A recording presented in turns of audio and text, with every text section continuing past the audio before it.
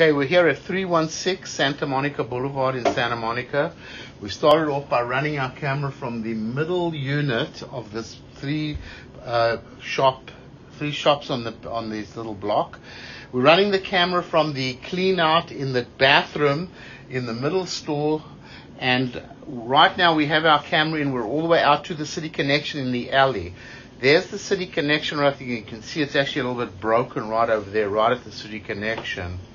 As it comes down, I mean, it's not the worst I've ever This just seen, picks up the toilets. but this just picks up the toilets. It doesn't pick up any grease traps or anything like that. This is strictly toilets. Now the clay pipe there looks okay.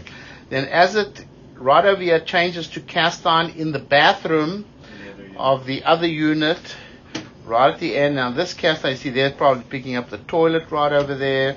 This cast iron is pretty much at the end of its life. That this is strictly for uh, sewage hard, uh, solids. This has nothing to do with floor drains and things like that. That's a whole different issue because that's all going to, the floor drains are all going to go into a tank, which we opened up the tank and we saw the inside of the tank. The pipes completely rotted away. This is pretty much done. This. This is strictly picking up toilets over here. Cast iron really bad.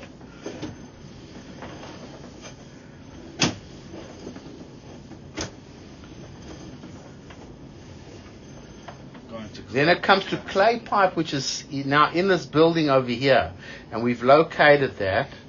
This is where apparently it picked that Y picks up the the end unit. I mean, this doesn't look too bad. It's, it, yeah, it was broken broken over here though. Yeah, it's pretty badly broken. So that we've located in this store, and it comes back to cast iron.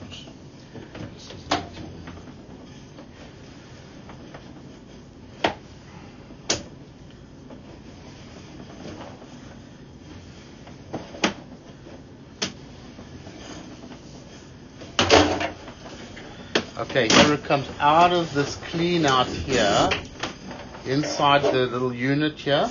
We're going to pause the recording and we're going to go over to the other side.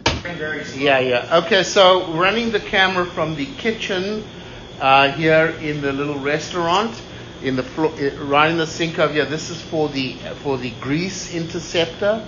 The pipe's are done. It's, it's the end of its life. You see You can see we can't even go ahead over here because there's a big hole in the pipe over here. And when we opened up the tank, we saw the top of the pipe is, is gone. So the cast iron over here is done. Let's pull the camera back.